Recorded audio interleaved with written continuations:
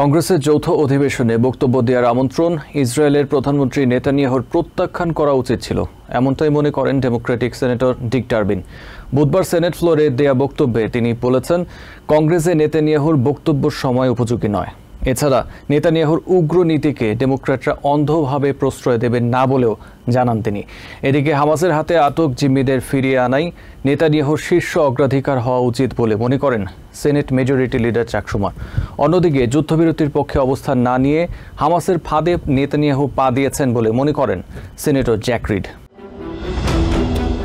ক্যাপিটলের বাইরে প্যালেস্টাইনপন্থী এবং যুদ্ধবিরোধী বিক্ষোভ উপেক্ষা করে কংগ্রেসের যৌথ অধিবেশনে বক্তব্য রাখেন ইসরায়েলের প্রধানমন্ত্রী বেঞ্জামিন নেতানিয়াহু, যা নিয়ে রীতিমতো কংগ্রেস নেতাদের সমালোচনার মুখে পড়েন তিনি। ডেমোক্রেটিক সেনেটর ডিক ডারবিন মনে করেন, কংগ্রেসে নেতানিয়াহুর বক্তব্য দেওয়াটা সময় উপযোগী নয়। যে কারণে কংগ্রেসে বক্তব্য দেওয়ার আমন্ত্রণ প্রত্যাখ্যান করা উচিত ছিল তার।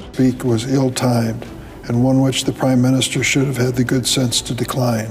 Hezbollah এবং ইরানের আক্রমণ থেকে নিজেদের রক্ষায় ইসরায়েলকে সব ধরনের সহযোগিতা করছে উল্লেখ করে সেনেটর ডারবিন বলেন ইসরায়েলের অস্তিত্বের অধিকারের প্রতি সমর্থন প্রধানমন্ত্রী নেতানিয়াহুর চরম নীতিকে অন্ধভাবে প্রশ্রয় দেওয়া নয়.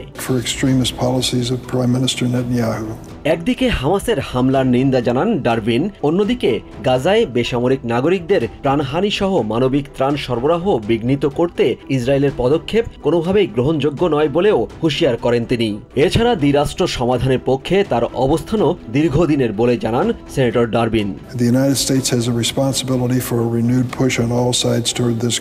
সেনেটে majority leader Chuck Schumer American সহ হামাসের হাতে আটক জিম্মিদের বিষয়টি তুলে ধরেন। সেনেট ফ্লোরে তিনি বলেন নেতানিয়াহুর অনেক নীতির সাথে দ্বিমত রয়েছে তার। তারপরও ইসরায়েলের সাথে আমেরিকার বন্ধন লৌহ দীর্ঘ তবে হামাসের হাতে আটক জিম্মিদের ফিরিয়ে আনাই হবে নেতানিয়াহুর শীর্ষ অগ্রাধিকার।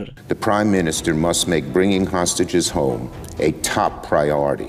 ইসরায়েলের সাথে দীর্ঘ পঁচাত্তর বছরের বন্ধুত্বের অধিকার নিয়ে দেশটির সরকারকে যুদ্ধের নীতি পরিবর্তন করতে চাপ দিতে হবে বলে মনে করেন ডেমোক্রেটিক সেনেটর জ্যাকরিড তার মতে নেতানিয়াহু শুধু ইসরায়েলের মিত্রদের নির্দেশনাই অবজ্ঞা করেননি। তিনি তার বিপজ্জনক উচ্চাকাঙ্ক্ষা এবং খারাপ প্রবৃত্তির প্রতিফলনও ঘটিয়েছেন। Of the most extreme elements of his coalition government. অন্যান্য কংগ্রেস নেতাদের মধ্যে সেনেটর রিডো মনে করেন ইসরায়েলকে তাদের উগ্র পন্থার পথ থেকে সরে আসতে হবে সেই সাথে একমাত্র দ্বিরাষ্ট্র সমাধানই পারে ইসরায়েলের নাগরিকদের মাঝে শান্তি ফিরিয়ে আনতে যা ইসরায়েলি নেতাদের অনুধাবন করতে হবে বলে মনে করেন তিনি To peace and stability for the Israeli people. Senator Reed জানান নয় মাস টানা যুদ্ধ করেও হামাসকে তাদের আদর্শ থেকে বিচ্যুত করতে পারেনি আইডিএফ হামাসের বিরুদ্ধে যুদ্ধে নেতানিয়াহুর কৌশলগত পরাজয়ের কারণে তার যুদ্ধকালীন মন্ত্রিসভা থেকে সদস্যরা পদত্যাগ করেছেন বলেও দাবি করেন সেনেটর রিড তার মতে হামাসের তৈরি ফাঁদে পা দিয়েছেন Netanyahu. And Netanyahu has fallen into that trap. Yusuf Khaled TVN twenty four news desk